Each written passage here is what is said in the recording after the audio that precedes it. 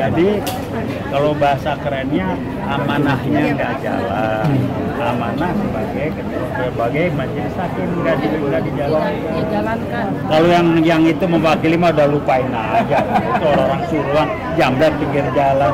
Masa udah sebulan nggak ngerti harus ini Emang goblok amat, memang sih goblok tapi nggak goblok.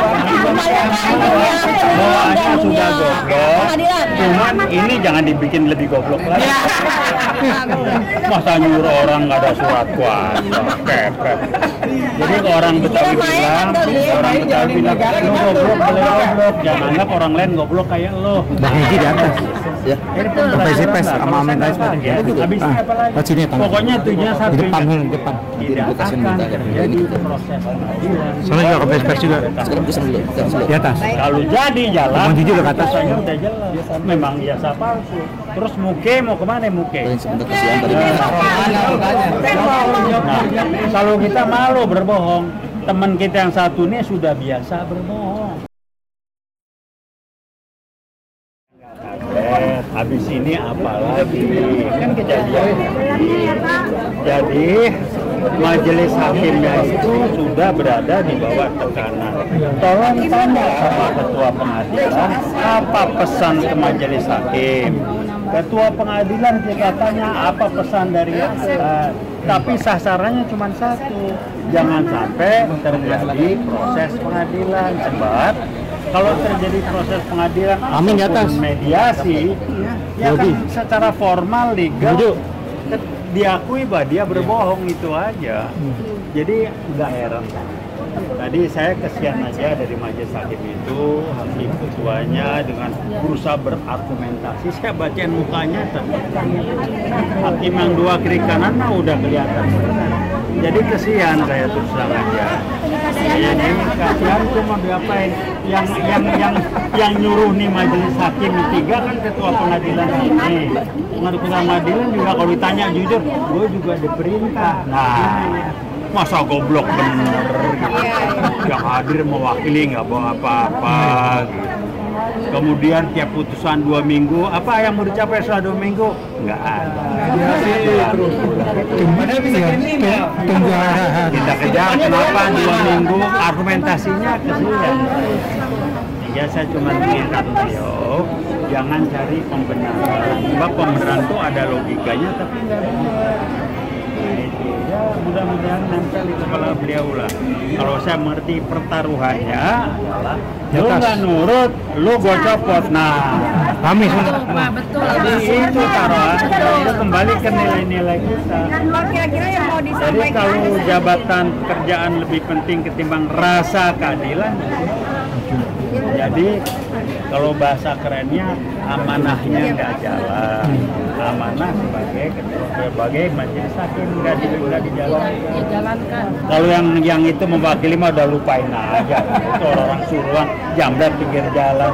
Masa udah sebulan nggak ngerti harus ini, emang goblok amat. Memang sih goblok tapi nggak goblok.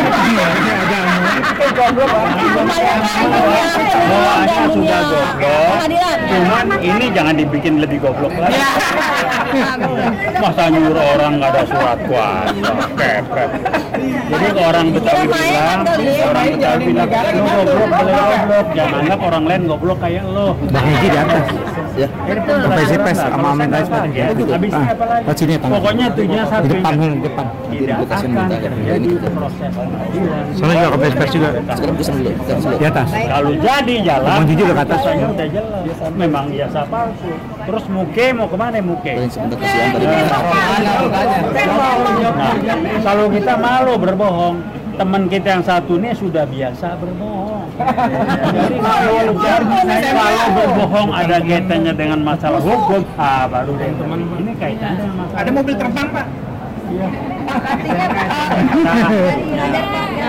Motor, motor terbang. Ya. Saya mau nanya, uh, kalau kira-kira yang untuk disampaikan ke masyarakat, ada umumnya dan khususnya, bahwa ini mengenai jasa palsu dan ini sudah uh, sangat-sangat keterlaluan menurut Bapak ya? Bangetan. Uh, ya. Uh, kira-kira apa yang menjadi uh, hal yang harus memang masyarakat ketahui dan harus uh, mereka uh, melakukan tindakan misalnya seperti itu? Cuman gampang karena yang ijazahnya palsu ini tidak punya malu, Ya. ya, rai gedek. Kemudian tidak gitu karena kaitannya ke aspek, aspek legal ini benar. Aspek legal dia ngelesnya ngeles susah. Kalau biasa kan bohong. Iya. SMK ini ada daftar bohongnya yang benar. Tolong cek, bilang ke master. Pernah nggak sekali dia ngomong, mohon maaf saya keliru salah. ngomong." Tuh, tidak pernah, belum pernah Itu dalam aja. satu kali pun. Jadi mau diapain? Kalau udah bohong itu bawaan bayi, ya bawaan bayi. Kalau bahasa kerennya sudah jadi karakter, ini hakim saya tahu majelis hakim ngikutin perintah ketua pengadilan. Iya. Saya membayangkan nih imajinasi waktu ditunjuk semuanya berusaha ngeles jangan bodong, jangan bodong, jangan. Ya yang mau ya Pak. Hmm, kalau bisa nggak ada yang mau tuh majelis hakim ngadilin jadi majelis hakim di sini. Tapi bilang perintah.